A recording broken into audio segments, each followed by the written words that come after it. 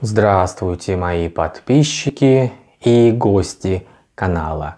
В этом видео рассмотрим оборудование мясокомбинатов для посола мясного сырья. При посоле в продукте накапливаются посолочные вещества. Хлорид натрия, нитрит натрия, сахара и другие. От количества которых зависят его вкус, аромат, цвет, консистенция, а также устойчивость к действию микроорганизмов. Посол проводит при сравнительно низких температурах, не выше 4 градусов Цельсия. В мясной промышленности посол применяют при обработке шкур, производстве колбасных, кулинарных, копченых, соленых и консервированных продуктов. В этом видео подробно рассмотрим оборудование для посола шкур, оборудование для посола мяса, а также технику безопасности при работе с этим оборудованием. Оборудование для посола шкур. При обработке шкур посол применяют в целях консервирования. Под консервированием шкур понимают такую обработку, которая обеспечивает сохранение качества во время хранения, передачи или транспортирования шкур на кожевенные заводы различают следующие способы посола шкур. Сухой. Посол сухой солью. Мокрый. Туз лукования. Посол в рассоле. А также комбинирование этих способов с применением или без применения сушки и обработки шкур кислотно-солевой посолочной смесью. Последняя представляет собой смесь поваренной соли, алюма калиевых квасцов, хлорида, аммония и других веществ. Сухим и мокрым способом солят шкуры крупного рогатого скота, свиней, лошадей, верблюдов, а шкуры мелкого рогатого скота только сухим способом. Для посола применяют специализированное оборудование периодического, посолочные чаны, гашпили, подвесные барабаны и непрерывного барабанные и шнековые аппараты действия. Посол шкур сухой солью осуществляется вручную или механизированным способом, а посол в рассоле исключительно механизированным способом. Посолочный чан представлен на слайде. Рабочая часть чана желобчатого или прямоугольного сечения, стенки чана железобетонные, кирпичные или деревянные.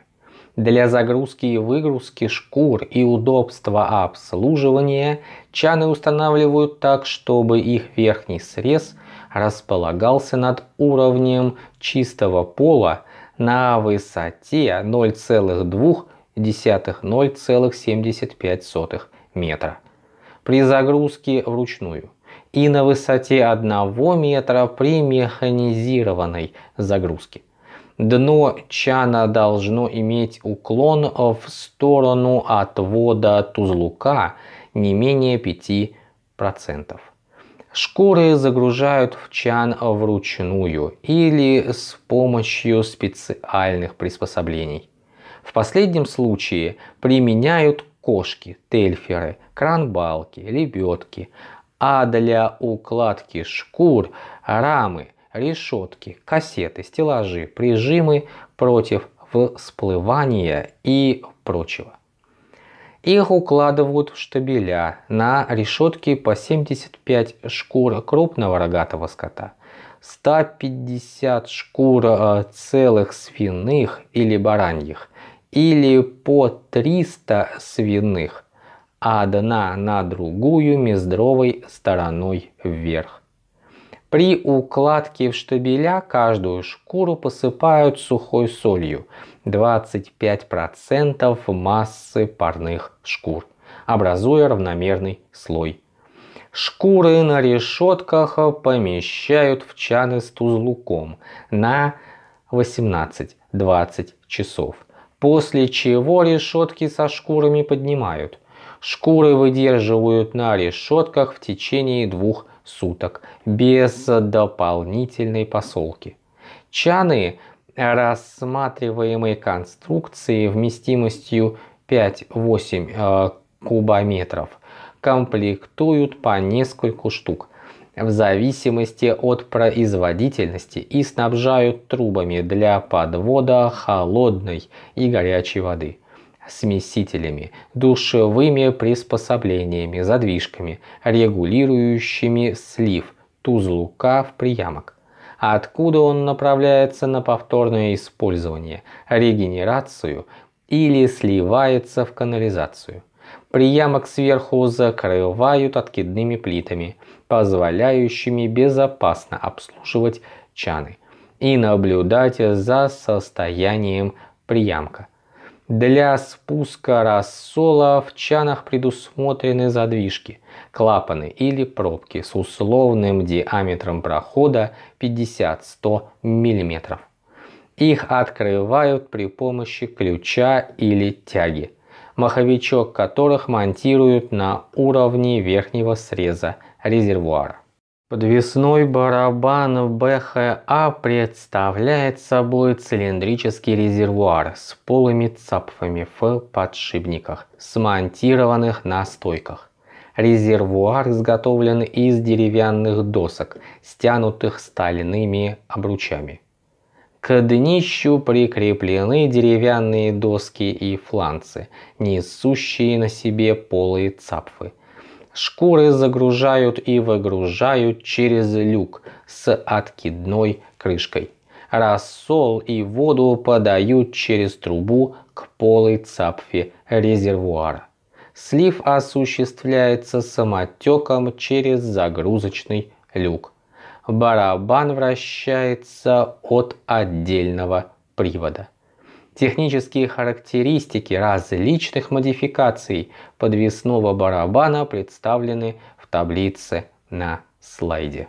Гашпиль – это деревянный или железобетонный резервуар желобчатой формы, снабженный стационарной или передвижной мешалкой. Гашпили могут быть одинарными, спаренными или встроенными – первом случае каждый гашпиль снабжен отдельным приводом. Для двух последних спаренных монтируют один привод, а их валы соединяют между собой через муфты включения. Гашпиль с передвижной мешалкой представлен на слайде. Мешалка смонтирована на раме, имеющей ходовые колеса. Они опираются на головки рельс, установленных и закрепленных на продольных стенках резервуара. Мешалка при перемешивании занимает крайнее нижнее положение, а при перемещении рамы вдоль резервуара ее поднимают в крайнее верхнее положение для перехода через поперечные стенки резервуара.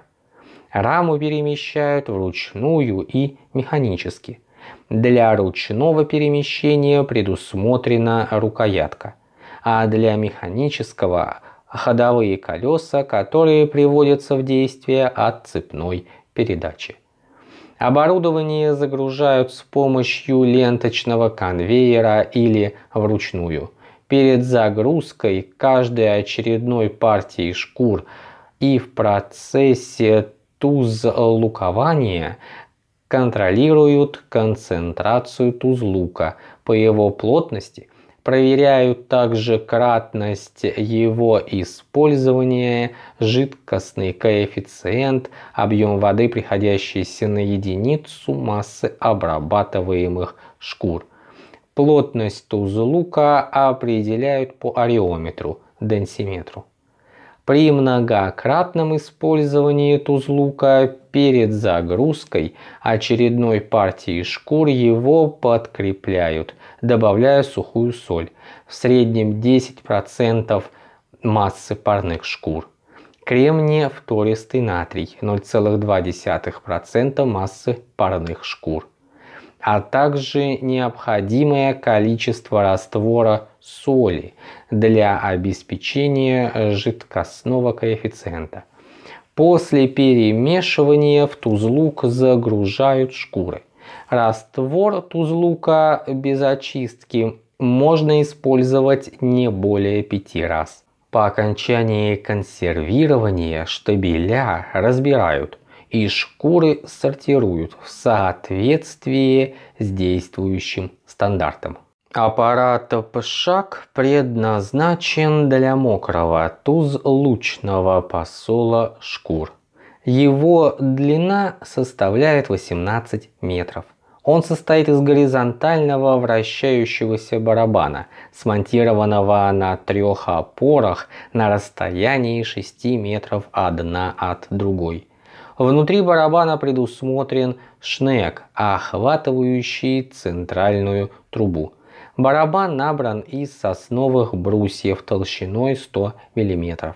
Шнек изготовлен из сосновых досок толщиной 70 мм а центральная труба собрана из сосновых бревен, стянутых хомутами. Снаружи барабан окольцован обручами с винтовыми стяжками, установленными на расстоянии 220 мм. Поверхностью шнека объем барабана разделен на 14 секций. Из них 13 рабочих и одна для слива тузлука. Внутри рабочих секций смонтированы лопасти для перевертывания шкур и карман для сбора и перелива тузлука между секциями по принципу противотока. Для установки барабана на опорах предусмотрено три бандажа прямоугольного сечения. Крайние бандажи опорные, средний – упорно-опорный. Все бандажи опираются на поддерживающие ролики, оси и подшипники которых установлены в стойках, смонтированных на опорах. Все поддерживающие ролики снаружи закрыты откидными кожухами.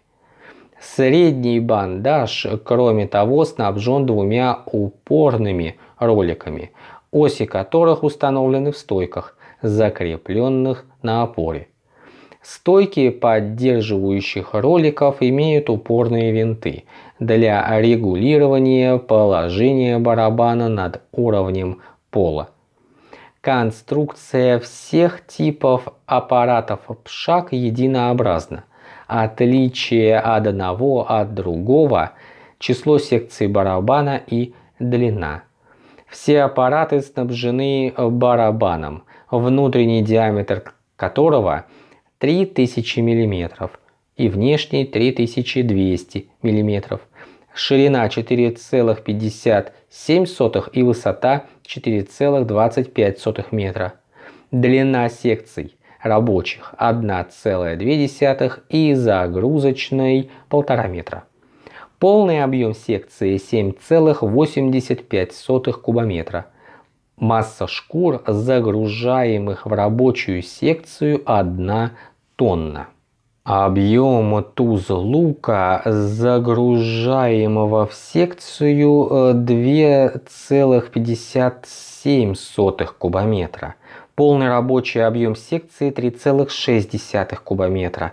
Загрузка одной секции 4,1 тонны. А основные технические характеристики аппарата представлены в таблице на слайде. Мощность электродвигателя аппарата ПШАК-18 14 кВт. Масса пустого барабана 49,3 тонны. Загруженного 102,6 тонны. Установку Я8 ФОВ применяют для сухого посола и рулонирования шкур крупного рогатого скота, посола овчин и шкур свиней. Она состоит из ленточного конвейера, шнековых конвейеров, сита, бункера, дозирующего и рулонирующего барабанов, смотровой площадки механизмы для очистки и электропривода. Принцип работы установки заключается в следующем. Парную обряженную шкуру укладывают на наклонный участок ленточного конвейера мездровой стороной вверх, так, чтобы линия хребта была перпендикулярна к направлению его движения. Из бункера дозирующим э, барабаном с ячейками наносится равномерный слой посолочной смеси. Количество поступающей смеси регулируется в зависимости от вида шкур дозатором. Затем ленточным конвейером шкура подается к рулонирующему устройству, упруго гибкие элементы которого захватывают переднюю кромку движущейся шкуры и сворачивают ее в рулон. По окончании процесса включается кулачковый механизм, который поднимает рулонирующее устройство, давая возможность продвигаться рулону к месту выгрузки и возвращает его в исходное положение. Шкуры автоматически подаются в поддон для транспортирования и выдержки шкур в посоле. Излишки посолочной смеси шнековыми конвейерами подаются на сито, просеиваются и поступают в бункер. При консервировании овчин или шкур свиней операции аналогичны описанным, кроме рулонирования. Рулонирующее устройство находится в верхнем положении, применяемого только при обработке шкур крупного рогатого скота. В барабане Я8ФКМ выполняют механизированную двухстадийную обработку свиных шкур, собственно посол и подсолка. Барабан из нержавеющей стали цилиндрической формы имеет загрузочно-разгрузочный люк, закрывающийся частично перфорированной крышкой. На внутренней поверхности барабана расположены 5 полок. На наружной, диаметрально противоположной люку, лопасть для разгрузки сырья. Под барабаном имеется полуцилиндрический лоток. Над барабаном форсунки для орошения его холодной водой. После удаления прирези мяса, жира, навала, обряженные шкуры загружают поштучно в барабан с помощью конвейера или вручную. Посолочную смесь добавляют не менее чем в 3-4 приема по мере загрузки шкур. Барабан заполняют шкурами и посолочной смесью, не более чем на 55 сотых его объема. Причем посолочной смеси берут 20-25% массы шкуры. На стадии посола барабан вращается с частотой 36 плюс-минус 1 оборота в минуту. В течение двух часов 2 часов 15 минут при непрерывном орошении его наружной поверхности водопроводной водой. Температура сырья на стадии посола составляет 15-25 градусов Цельсия. По окончании посола барабан останавливают, переключают на частоту вращения 18 плюс-минус 2 оборота в минуту и через перфорацию крышки отводят рассол, после чего барабан останавливают. На стадии подсолки в барабан загружают посолочную смесь 10-15% массы парных шкур и при закрытом люке обрабатывают шкуры при частоте вращения барабана 18 плюс-минус 2 оборота в минуту в течение 10-15 минут. Из вращающегося барабана законсервированное и подсоленное сырье выгружают на стеллаж. Его укладывают на поддон или тележку для стекания в течение не менее 3-6 часов, после чего подают на сортировку.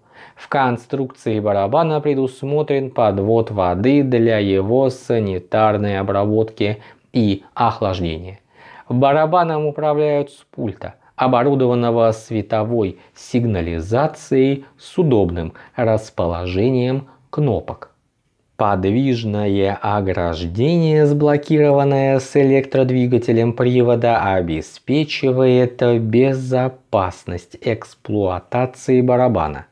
Его применение позволяет сократить время консервирования шкур с 3 суток до 8 часов высвободить двух человек, повысить производительность труда до 7% по сравнению с посолом вручную. Существенно уменьшить потребности в производственных площадях и расход посолочных компонентов, сохранить качество шкур, исключив их пороки при консервировании. Технические характеристики оборудования для сухого посола шкур представлены в таблице на слайде.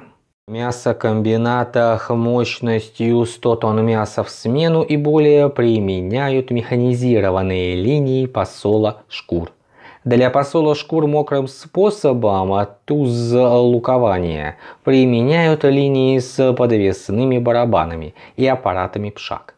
Линия с подвесными барабанами показана на слайде. Шкуры скота подаются ленточным конвейером в один из барабанов. После посола шкуры разгружают через люк на пластинчатый конвейер. Просоленные шкуры с конвейера укладывают на стеллажи или козлы. Рассол, который стекает со шкур, собирают и направляют на восстановление. После стекания рассола каждую шкуру подсаливают сухой посолочной смесью в штабелях, в которых выдерживают их до окончательного консервирования. Обработка шкур на линии с аппаратом ПШАК аналогично описанной выше. Отличие состоит в том, что шкуры крупного рогатого скота перед посолом в аппарате пшак непрерывного действия размачивают в моечном барабане снимают с них навал и прирези мяса на навалосгоночной машине. Свиные шкуры консервируют так же, как и шкуры крупного рогатого скота, но без обработки в моечном барабане и навалосгоночной машине. В механизированных линиях посола шкур крупного рогатого скота, свиней и мелкого рогатого скота сухими посолочными смесями используют также барабан Я8ФКМ, установку Я8ФОВ и агрегат Я1ФПГ. На линии обработки и консервирования шкур свиней с применением барабана Я8ФКМ шкуры обрабатывают следующим образом. После обрядки шкуры подаются в машину ММ2200К междровой стороной вверх. Расстояние между ними должно быть минимальным. Они подаются конвейером под дозатор, из которого посолочная смесь равномерно наносится на междровую сторону шкуры. Нанесенную посолочную смесь подпрессовывают, шкуры снимают вручную, укладывают на поддон и направляют на складирование. Технические характеристики механизированных линий представлены в таблице на слайде. Оборудование для посола мяса. Мясо солят сухим, мокрым и смешанными способами. При сухом посоле мясопродукты натирают солью или посолочной смесью и укладывают в тару или штабеля, пересыпая каждый ряд солью. При мокром посоле мясопродукты укладывают в чины или бочки и заливают рассолом. Для ускорения проникновения посолочных компонентов часть рассола вводят в толщу продукта шприцеванием. Рассол вводят в продукт перфорированными иглами. Смешанный посол применяют при производстве свинокопчености и солонины. Продукты шприцуют рассолом, затем натирают посолочной смесью и укладывают в тару до образования маточного рассола, после чего их заливают свежим рассолом. Выбор оборудования для посола мяса определяется технологией мясопродуктов. При производстве колбасных изделий мясо предварительно измельчают и смешивают с посолочными компонентами в мешалке или куттере. Для посола мяса при приготовлении фарша при производстве колбасных изделий и полуфабрикатов применяют комплекс оборудования А1FLB. Его используют при горизонтальном и вертикальном потоке сырья. В комплекс оборудования А1FLB для посола мяса входит следующее оборудование. Два волчка К6 FVZP200, два подъемника К6 FPG500, три фаршевых насоса А1FLB-3, площадка, основание, весовой бункер А1FLB-2, смеситель со шнековой выгрузкой А1FLB-1, рассолопровод, охладитель-дозатор А1FLB-4, щит контроля и управления, стол, а также насадка, релейно-пневматический щит и щит питания. Оборудование комплекса может работать как в автоматическом, так и в ручном режиме. Посол мяса осуществляется следующим образом. Сырье, говядина, свинина из цеха обвалки и жиловки в напольных тележках горизонтальный поток транспортируются к гидроподъемнику К6 FPG500, с помощью которого выгружается в приемные бункера соответствующих волчков К6 FVZP-200. При вертикальном потоке сырье поступает в бункера волчков по спускам, выходит из них в измельченном виде и поступает в приемный бункер насоса А1FLB-3.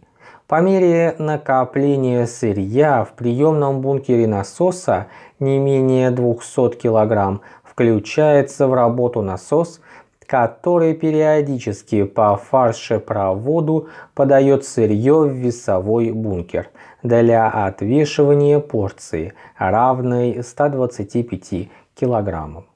Отвешенная порция автоматически выгружается в месильное корыто смесителя А1FLB-1, куда подается из насоса дозатора пищевой рассол – из расчета 10 кг на 100 кг сырья.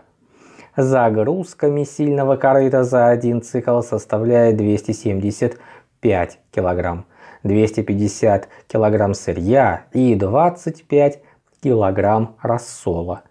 Сырье смешивается с рассолом спиралеобразными шнеками в течение 3-4 минут. По окончании смешивания готовый продукт транспортируется шнековым выгружателем, встроенным в смеситель, в тару для созревания. Посол мяса при производстве колбасных изделий осуществляется также в посолочных агрегатах. Посолочный агрегат состоит из волчка дозатора сухих посолочных веществ или их растворов, и мешалки периодического или непрерывного действия. Рассол может подаваться непосредственно в область режущего механизма волчка, в шнековый смеситель, устанавливаемый на входе из волчка или в мешалку. При ускоренном 6 часов посоле мяса для вареных колбас его измельчают на волчке до размеров частиц 2-3 мм и смешивают с насыщенным рассолом температурой 10-12 градусов Цельсия в соотношении 10% массы сырья. Технические характеристики посолочных комплексов и агрегатов представлены в таблице на слайде. Для выдержки мяса в посоле применяют различные емкости. Тазы, чаны, подвесные ковши, бункеры, напольные емкости и другие. Шприцевание мясопродуктов э, проводят посолочными шприцами. Посолочный шприц состоит из резервуара с рассолом, резиновых шлангов для подвода и отвода рассола. На выходном шланге установлен шприцевальный кран с иглой. После укола иглой под давлением поступает рассол. Уколы проводят по всей поверхности продукта. Несколько уколов делают э, в сочленение костей. Недостатком шприцевания в мышечную ткань является нарушение ее целостности, что приводит к вытеканию части рассола обратно. Многоигольчатый шприц э, Я2 ФШУ относят к группе посолочных автоматов. Он входит в состав линии производства ветчины в оболочке Я2 ФВО и предназначен для шприцевания рассолом костного и бескостного мясного сырья при производстве продуктов из свинины. Шприц можно применять как в составе линии, так и в качестве самостоятельной единицы в комплекте с машиной Я2 FMM для массирования мяса. Шприц состоит из шприцовочной головки, пластинчатого конвейера, поддона, привода, станины, фильтра, бака, демпфера и кожуха. Шприцовочная головка представляет собой сборную конструкцию из цилиндрических направляющих, двух коллекторов для подвода рассола, кронштейнов для крепления нижних направляющих, предназначенных для размещения между ними блока шариковых затворов и полых подпружиненных игл. Шариковые затворы и втулки являются подшипниками скольжения и обеспечивают поступательное движение игл в период шприцевания рассола в мясное сырье. Сырье для шприцевания подает пластинчатый конвейер, который состоит из стола, приводного и натяжного валов с закрепленными на них звездочками, двух стенок, скрепленных стяжками, спуска и трех текстолитовых направляющих для пластин ленты. Конвейер устанавливают на поддон, представляющий собой сборную конструкцию из сварного корпуса, замков, двух стаканов со встроенными втулками и деталей крепления. Поддон предназначен также для сбора рассола и возврата его через фильтры в бак. Рассол единовременно хранят в сварном баке с фильтром, который очищает рассол на всасывающем патрубке насоса. Постоянное давление в системе подачи рассола в коллекторы шприцовочной головки поддерживается с помощью демпфера, который включает корпус, гайку, ниппель и штуцер. На станине размещаются все механизмы привода конвейера и шприцовочной головки насос с регулирующей аппаратурой, бак, а также все узлы и детали шприца. Привод представляет собой мотор-вариатор, на валу которого закреплены кулачок для передачи движения приводному валу пластинчатого конвейера через рычажную систему и храповый механизм и кривошип для передачи возвратно-поступательного движения шприцовочной головки.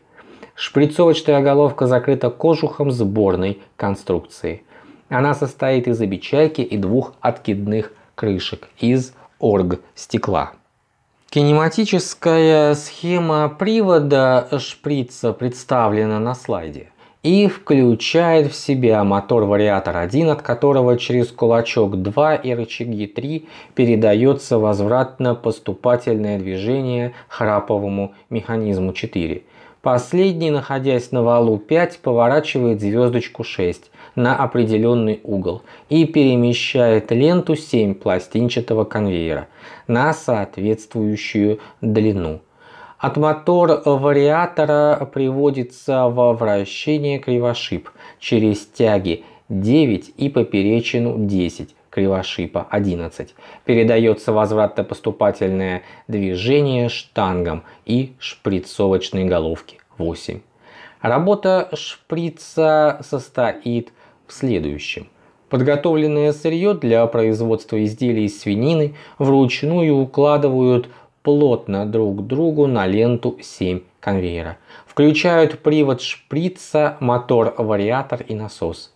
Мотор вариатор 1 одновременно приводит в действие кулачок 2, от которого получает движение конвейер на шаг 22 мм и кривошип 11, приводящий в возвратно-поступательное движение шприцовочную головку 8. При остановке конвейера шприцовочная головка 8 перемещается в нижнее положение, дойдя до сырья останавливается, а иглы продолжают перемещаться вниз. Выйдя из шариковых затворов, расположенных между направляющими, иглы прокалывают сырье и, пройдя по его толщине, нагнетают рассол – Шариковые затворы обеспечивают наличие рассола в иглах до начала и в конце шприцевания. По мере прохождения игл шприцевой головки по толщине сырья рассол разбрызгивается через отверстия, образованные иглами. Подачу рассола под давлением обеспечивает насос. При попадании какой-либо из игл на кость в случае посола мяса костного сырья. Эта игла останавливается за счет пружин сжатия, которыми снабжены иглы. При этом остальные иглы продолжают движение. С целью компенсации падения давления рассола в полости игл во время шприцевания в рассолоподающей системе установлены два демпфера. Посоленное сырье конвейером подается к месту выгрузки, а откуда по спуску поступает в тележку, установленную под конвейером. Неиспользованный при шприцевании рассол проходит через очистительные фильтры. Посолочный комплекс DIP-K01 применяют для посола мясного сырья. Емкость наполняется рассолом, включается компрессор и сжатый воздух через воздушный фильтр поступает в емкость, заставляя рассол по шлангу двигаться к инъектору. После введения иглы в ткань мясного сырья нажимают на рукоятку. Рассол через иглу поступает в мышечную ткань под давлением. Оборудование изготовлено из нержавеющей стали. Габаритные размеры инъектора при массе 1,1 кг составляют 460 на 40 на 65 мм, рабочего стола 1220 на 610 на 1300 мм. Вместимость передвижной емкости 100 литров, производительность компрессора пол кубометра в минуту – Установленная мощность компрессора 4 кВт. Посолочный автомат FAP предназначен для механизации внутримышечного посола мяса при производстве копчености из говядины, свинины и баранины. Его применяют в колбасных цехах мясокомбината, как правило в комплекте с установкой массирования мяса ФУМ и конвейером FTB. Станина автомата сварная коробчатая конструкция, закрытая с боковых сторон крышками, дверцами и выдвижными прозрачными пластинами с резиновыми шторками. На боковой стороне находятся органы управления и контроля. В нижней части приемного лотка расположены рециркуляционные фильтры для слива остатков рассола. Конвейер – это сварная рама с валами – на которой натянута сборно-металлическая пластинчатая лента.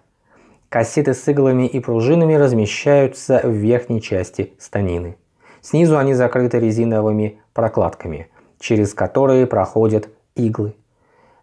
Электронасосы, соединенные с электродвигателями в единую модульную конструкцию, установлены в нижней части станины. Соединяясь гибкими трубопроводами с ресиверами и через выходные патрубки с сетчатыми фильтрами. Мясное сырье солят, впрыскивая в него через инжекторные иглы рассол. Электронасосы всасывают его через э, сетчатые фильтры из резервуаров и подают через ресивер в запирающий клапан к иглам. Рассол впрыскивается только в момент нахождения игл в сырье.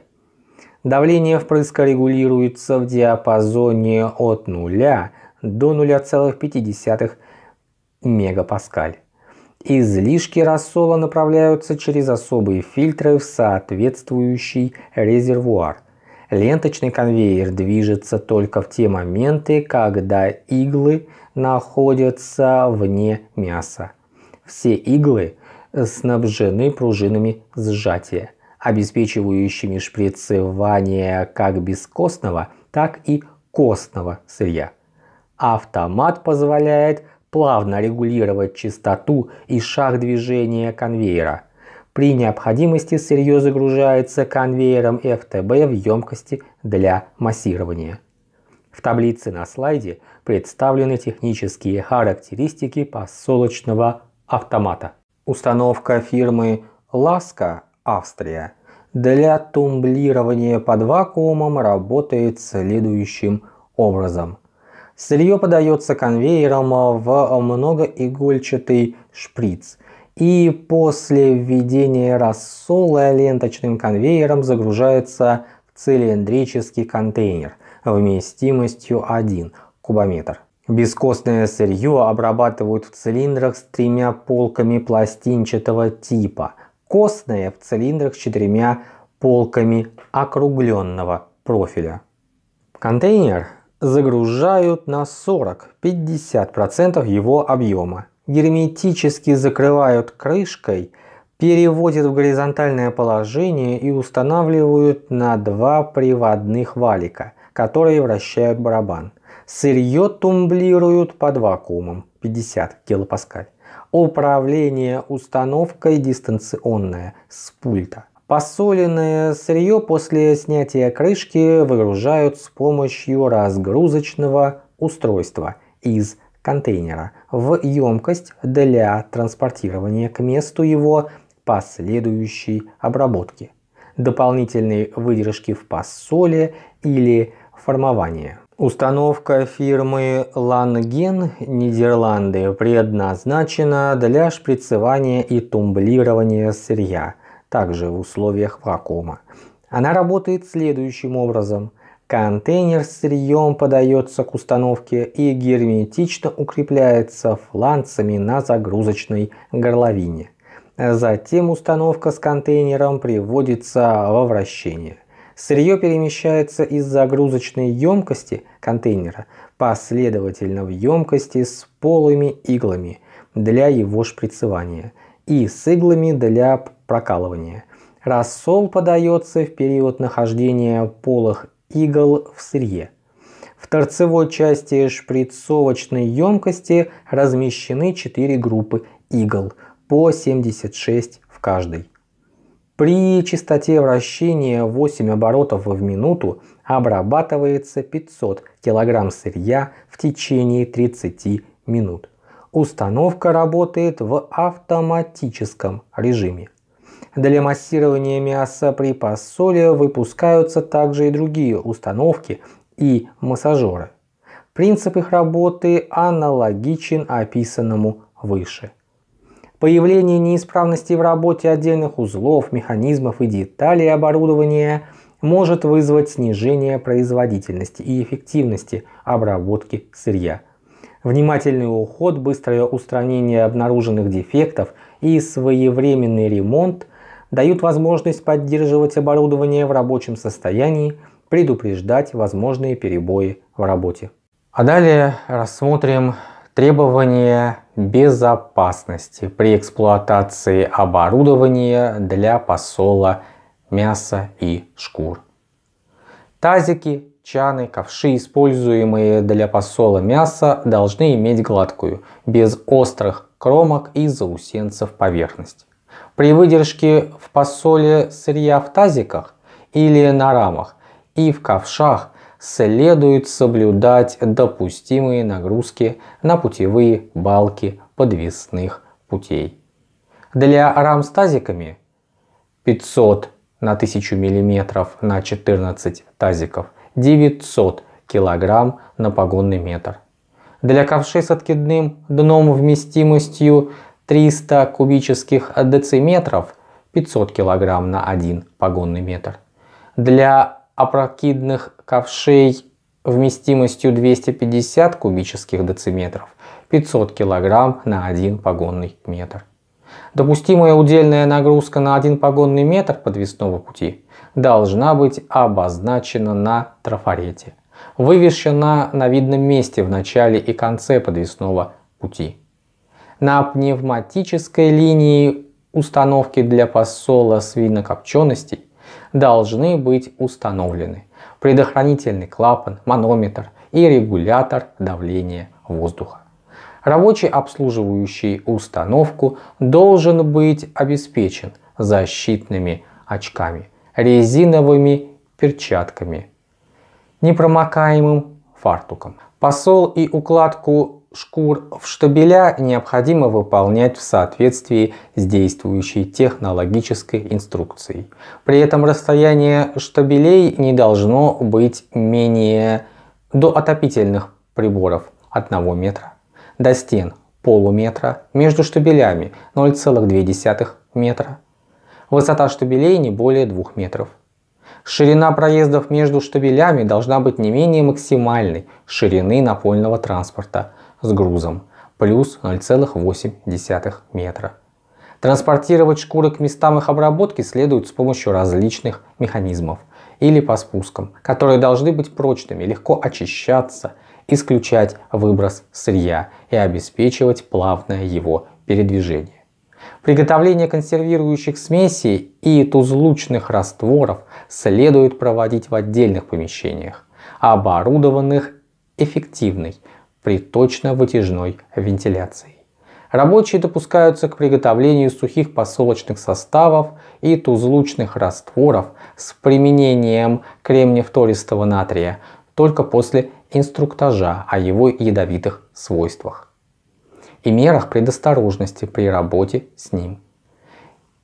Им необходимо обеспечить э, спецодежды из плотной хлопчато бумажной ткани, прорезиненными фартуками, рукавицами, защитными очками и респираторами. На рабочих местах приготовления посолочных составов и тузлучных растворов с применением антисептика, например, парадихлорбензола, кремния фтористого натрия, нафталина, должны быть вывешены предупредительные знаки со смысловым значением «Осторожно! Ядовитые вещества и инструкции по безопасному проведению работ. Кремний фтористый натрий необходимо хранить на складе и отпускать только с разрешения начальника цеха консервирования шкур. Антисептик следует отпускать только в количестве необходимым для приготовления суточного запаса консервирующего состава или тузлука. Остаток кремниевтористого натрия должен быть возвращен на склад. На дверях складов и внутри них должны быть вывешены предупредительные знаки со смысловым значением «осторожно ядовитые вещества». А на наружной стороне дверей также знаки, запрещающие курить и пользоваться открытым огнем.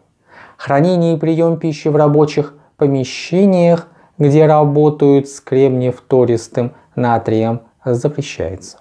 По окончании работы с антисептиками рабочие должны тщательно мыть руки, а после работы обмываться под душем. Хранить соль для посола мяса допускается в специально предназначенных для этой цели складах Слежавшуюся соль следует взламывать пневматическими молотками, кирками и ломами, начиная с верхних слоев бурта, оставляя небольшие уступы до основания.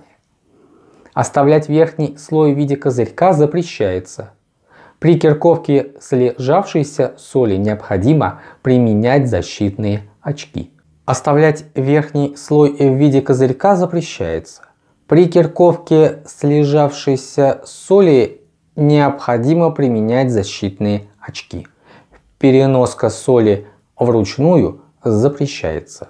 В этом видео мы рассмотрели оборудование для посолки шкур и мяса, а также требования по безопасной эксплуатации этого оборудования. Благодарю вас за внимание. Подписывайтесь на канал, поставьте лайк, поделитесь этим видео в социальных сетях. Желаю вам всяческих успехов и до новых встреч!